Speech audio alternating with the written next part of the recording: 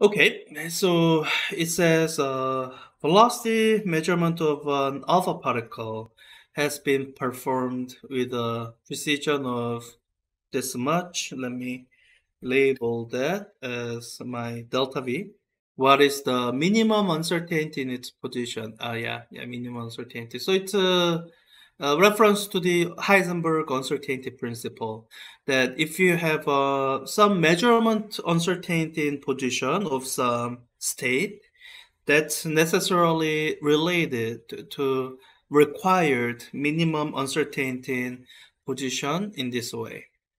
That the, the product of those two uncertainties is greater than or equal to h bar over 2. So um, we are given put, uh, the velocity uncertainty. And since momentum is mass times velocity, um, the this uh, velocity uncertainty is directly tied to momentum uncertainty. Momentum uncertainty is um, mass times uncertainty and velocity. Assuming mass is, is a fairly well-known quantity and you don't really have to worry about the uncertainty in mass, uh, which could be a case for uncer um, unstable particles. So I think we can treat the uncertainty in momentum as given, then solving this for um, uncertainty in position I'm dividing both sides by delta p, which is a positive quantity, so the inequality doesn't change. So delta x is greater than or equal to h bar over 2 times 1 over delta p. Okay, I feel like there's a lot of constants here. Uh, let me just use Wolfram alpha. It's going to be a little bit quicker that way than um, doing the calculation in uh, in SageMath. So just to bring up Wolfram alpha. So it'll be h bar divided by 2 divided by still. Wonder if it has alpha particle mass. If it doesn't, I have another way to deal with it. Uh, times um, uncertainty in uh, velocity, so 0 0.028 millimeter per second. Let's see what happens. Um, oh yeah, it has alpha particle mass. Wow, that's amazing. Um, I, uh, I that's great. Uh, yeah, I think that all looks right. Yeah, and the the end result is in the unit that we are expecting, 0.283 millimeter. Okay, 0.283. Um, huh.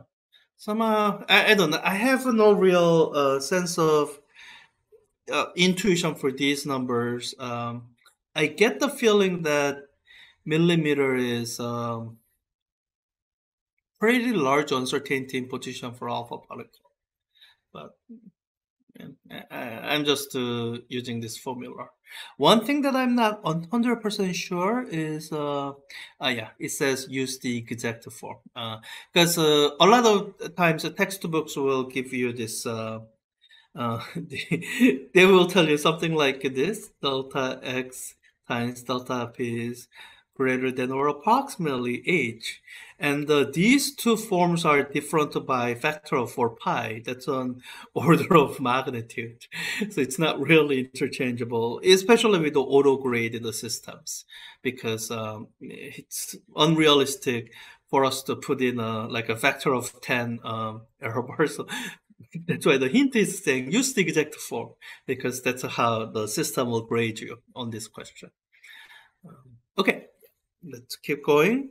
I have question four.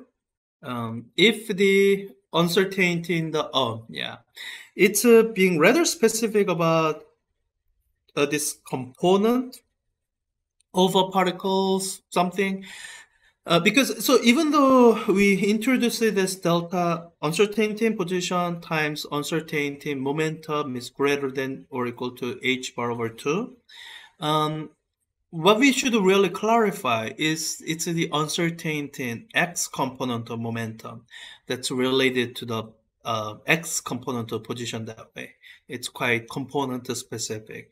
Um, eh, so this is more of an upper division quantum mechanics material, but uh, like if you have some uncertainty in the y position and you are trying to relate it to uncertainty in the x component of momentum, you can actually uh, get these states in such a way that their product is equal to zero. You can have arbitrarily precise y position along with arbitrarily precise x component of momentum.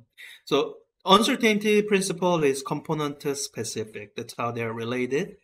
So that's why the question is rather um, particular about specifying uncertainty. The y component of the position is that 3 picometer, and it's asking for the minimum uncertainty in the simultaneous measurement of the y component of velocity. If it had asked for um, x component of velocity, I could have said, oh, zero. It could be arbitrarily precise.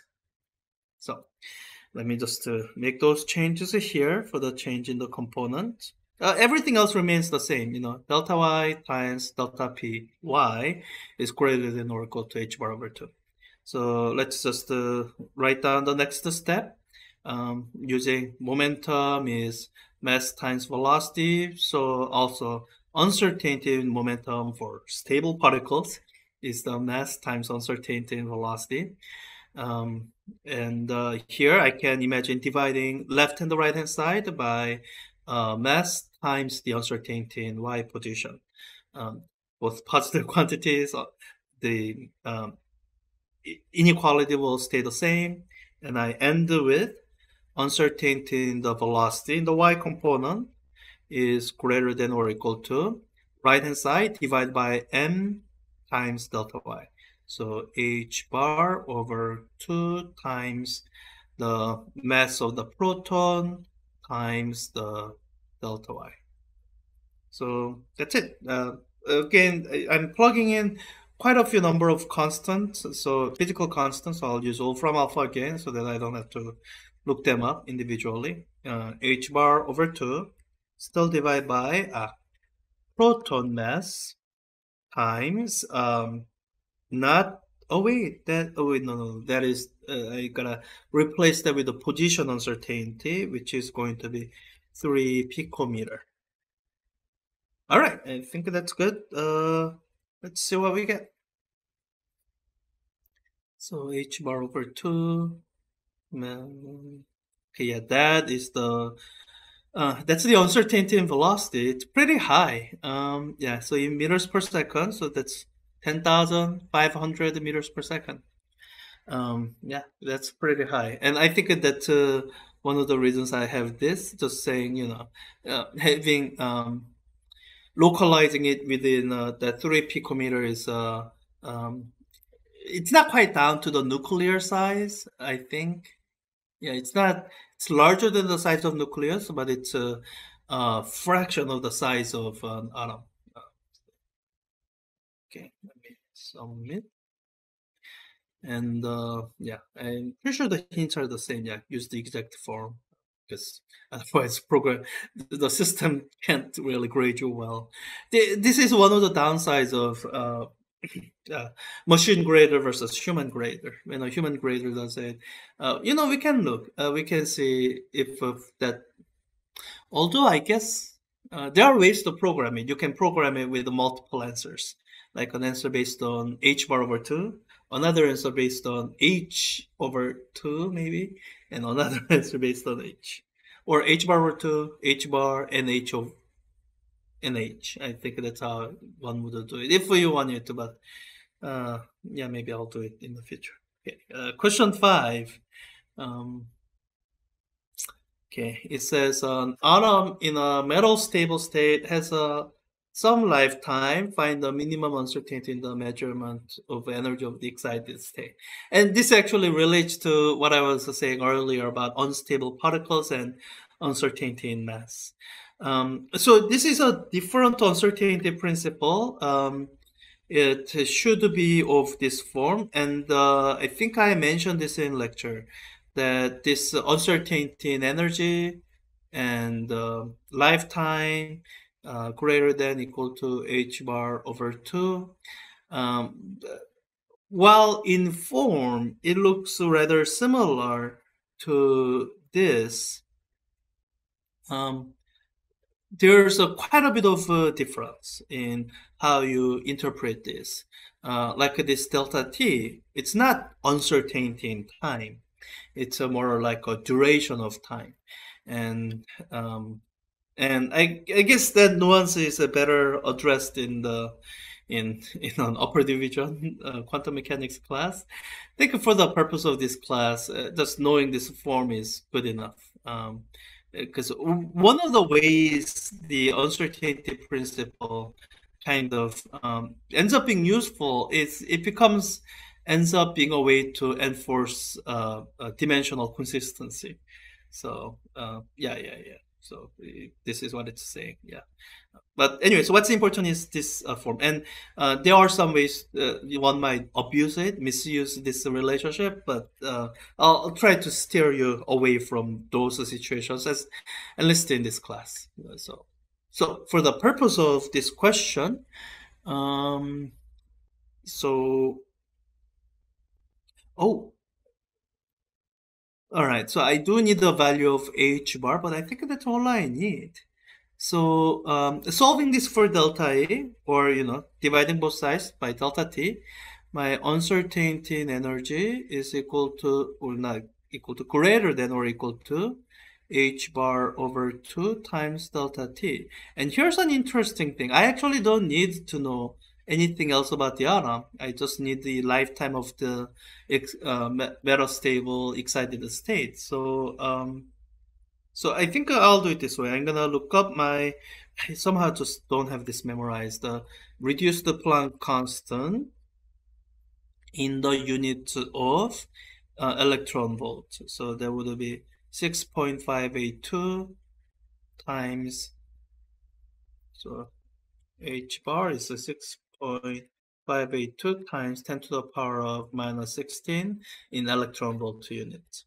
So here the answer simply is um, that expression h bar divided by 2 times 4.6 milliseconds so 4.6 times 10 to the power of minus 3 seconds um, you can see the units the seconds cancel out the second in the uh, electron volt times a second so I am and I end up with a unit of electron volt and I have this as my uncertainty in energy, which it's a little bit hard to get intuition for 7.15 times 10 to the power of minus 14.